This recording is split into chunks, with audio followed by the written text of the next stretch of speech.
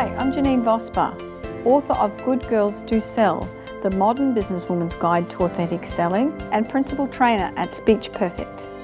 No matter how many sales staff you have, as the owner of the business, you will always be its best spokesperson.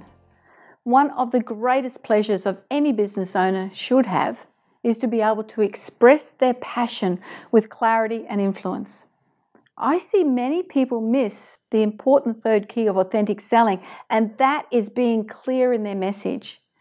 Being able to express your passion with skill so your target market will welcome your service and guidance. Many people have been influenced by the old school sales training maxim it's a numbers game. That the more doors you knock on, the better chance of making a sale. And yes, Following that notion might work for some if you don't mind burning up a lot of time and money and energy. However, if you are more interested in solving problems and building long term customers, the strategy rarely works. Qualifying your prospective clients begins with knowing how to make the most of those efforts.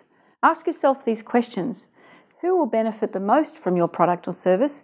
Where do you find that market? How can you get information to them? And what's the best way of contacting them? There are a myriad of various marketing practice, all with differing degrees of success, which we look at in our two day workshop. Right now, you need to understand the importance of successfully determining the who rather than the how. This will then afford you some chance of success. As we know, cold calling is not necessarily a comfortable process for most people. But when they get this element right in knowing who, the who being the qualified lead, then they know how to provide information with a personal warm call rather than an anxious cold call. One client I coached wasted a lot of time and energy doing exactly that, going from door to door, introducing himself and leaving his card and information, trying to build his new territory before he came to me for direction. He had the type of product that every business could use, so this approach seemed to make sense to him. He began to doubt himself when his efforts weren't generating the results that he had expected. Once he understood what he'd been doing wrong, that he needed to target specific industries using warm calling techniques, he found the numbers game became much more fruitful. It is critical to know who you are marketing to and exactly what you want from that interaction.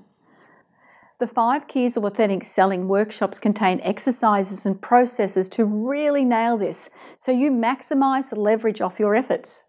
As you can imagine, it takes a bit of work to get it right, but it's well worth the effort though to master this strategy and save you time and guarantee a higher conversion. If you've been wasting time and money by not having clarity in your message and not targeting the right prospects, check out the calendar at speechperfect.com.au and simply book into the next two day five keys of authentic selling workshop. Discover how to use the right words at the right time to the right people and let us help make your business the success you believe it can be.